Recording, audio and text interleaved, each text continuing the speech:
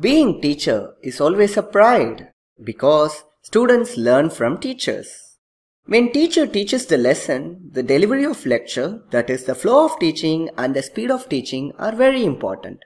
If teacher can deliver more content continuously, student will certainly cannot get everything whatever the teacher teaches.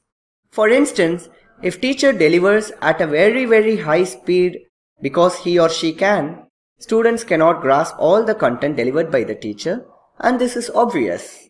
So the teacher has to figure out at what speed he or she must deliver in order to establish a perfect teaching learning experience, which is exactly the flow control.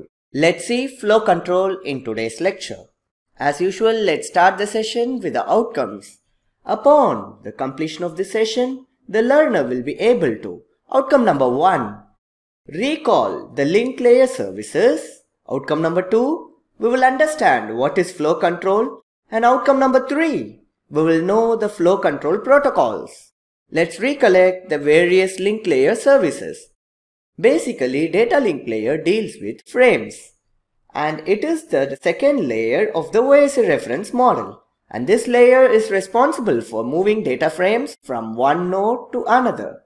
And the various services offered by data link layer are framing, error control, flow control, physical addressing, and access control. Already we have seen framing and error control. In error control, we have seen about error detection techniques and flow control is the topic of the day. Let's start with what is flow control. Suppose if we have a device A and we have another device B and these two devices are going to communicate with each other. Let's suppose if device A is sending some data frames at a very high speed, but device B is not able to handle that much speed. At one fine point of time, device B will be losing all the data frames that was sent by device A. So before sending the data, both the devices must mutually agree upon the flow control mechanism. So we say flow control is a speed matching mechanism where the receiver should inform the sender at what speed the receiver can handle the data frames and later it becomes the responsibility of the sender to send at the speed that they mutually agree upon. So what flow control does? It coordinates the amount of data that can be sent before receiving an acknowledgement. In other words, flow control is a set of procedures that tells the sender how much data it can transmit before it must wait for an acknowledgement from the receiver.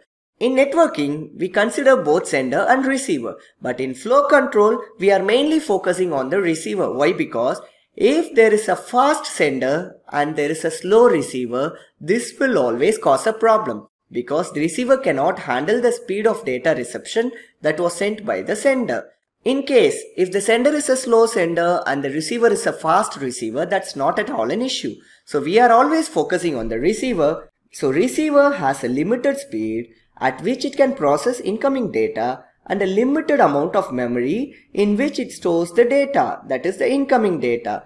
Whatever sender sends, the receiver will store everything in its memory and it will be processed by the receiver.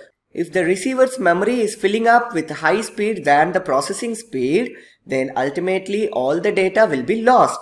Once the memory is full, all the data will be lost. So, receiver must inform the sender before the limits are reached.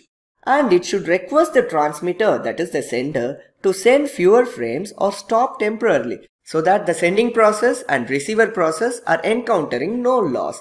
This is the basics behind flow control. Let's now talk about the protocols involved in flow control aspects.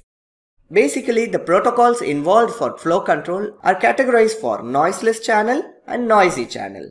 So this part is the noiseless channels and this side is the noisy channel. Let's focus on noiseless channel and the protocols involved in noiseless channel. The protocols involved in noiseless channels are simplest protocol and stop and wait protocol. The protocols involving noisy channels are stop and wait ARQ, go back N ARQ, and selective repeat ARQ. ARQ stands for automatic repeat request. We will be dealing about all these protocols in the upcoming lecture. And that's it guys. We recollected the various link layer services. We understood what is flow control and we know the flow control protocols. I hope you guys enjoyed the session and thank you for watching.